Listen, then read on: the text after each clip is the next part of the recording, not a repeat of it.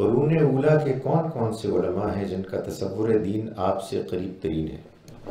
मैंने इसकी कोई फहरिस्त नहीं मरतब की कभी हो गई तो आपकी खिदमत में पेश कर दूँगा। मैं अपनी बात जब कहता हूँ तो उसके दलाइल अल्लाह की किताब से, अल्लाह के पैगंबर की तालीमत से दे देता हूँ। और मेरी दरख्वास्त है कि उनको उन दलाइल की रोशनी में समझिए।